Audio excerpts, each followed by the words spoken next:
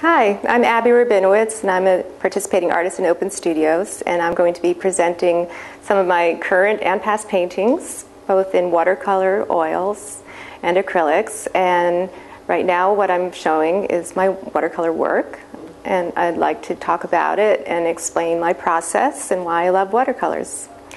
I've been working with watercolor as long as I can remember, though I seriously I started painting with watercolor when I was in uh, college. I remember my sister, who's also a fine part, uh, artist and painter, she was studying um, at art school at that time, and we went out painting together. We still love to go out painting together. And she was very excited about this new medium, and she was saying, Abbie, look, you can work wet on wet. And we went out, I live, I grew up in the country, so there were beautiful vistas and uh, landscapes to go and paint from. And uh, she, she was just very excited. So she, she taught me my first techniques with paint and my dad taught me, and I learned on my own, and I learned in art school. And I studied painters like Cezanne, who was one of my biggest influences. I love Cezanne.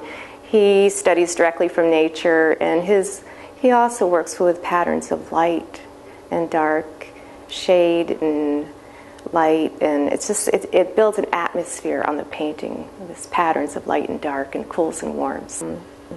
I think my favorite way to paint is to work from a subject.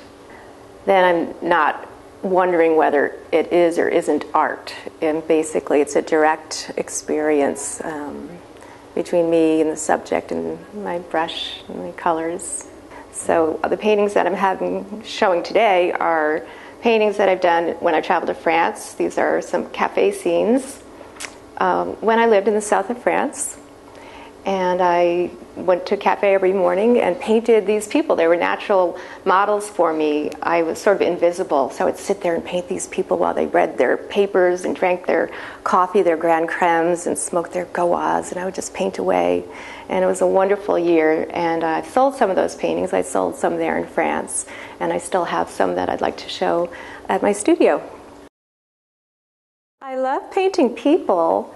I have a a lot of portraits I've done of people. I'm showing here today uh, another you, one of the cafe scenes from France. I got a lot of uh, a lot of work from that year because the, it was a super place to paint, and uh, it was a year that I kind of really developed my uh, blues and my ochres and cools and warms.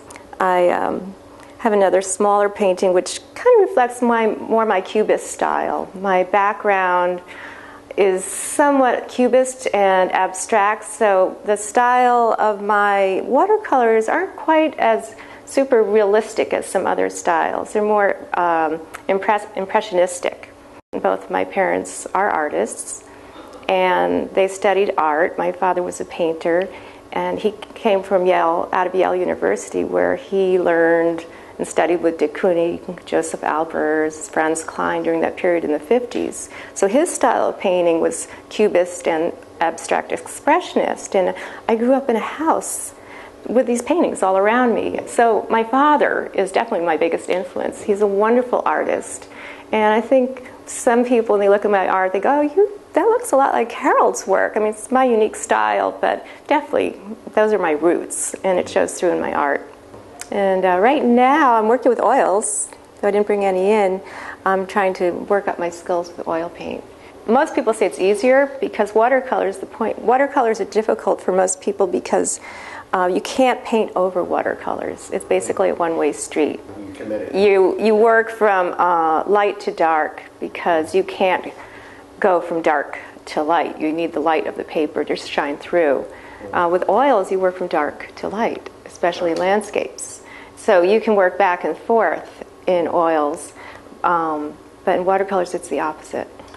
And you can't erase. You can't erase your marks. And once you put it down, you're committed. So it's it's fast and it's quick. And if you make a mistake, that's too bad.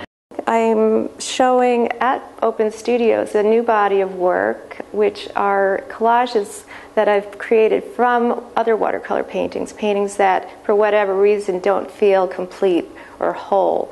But I like the colors, I like the brush marks, but it doesn't hold together as a painting. So I've been cutting those paintings up into cubes, and sometimes they're done from one painting, sometimes I mix them from other paintings together.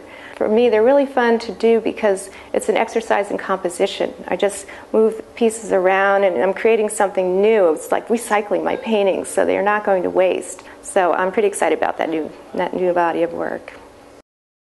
A lot of my paintings represent my travels. I love to travel and I love to paint. I love to capture where I've been and what I've seen. And watercolors are wonderful because they're so easy to travel with. They're uh, simple, they're immediate, and um, I love working with them. I've traveled to Hawaii and Asia, and some of these paintings that I'm showing are paintings that um, I did when I was in Hawaii. I've spent a lot of time there, especially on the Big Island.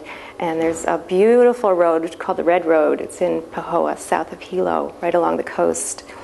And I enjoy that area, particularly this special road, because it's uh, goes in and out of these tree tunnels and it goes along the coast. It's this uh, black lava coast, and it's spectacularly beautiful.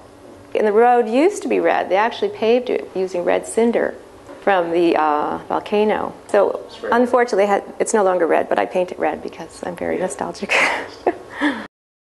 In my paintings, if you look closely, you'll see just the most beautiful moments between drawing, I leave line in my painting, and paint, and the beautiful subtleties of transparent overlays, and this kind of uh, um, a reverence for art and nature at the same time. I think that shows through in all my art.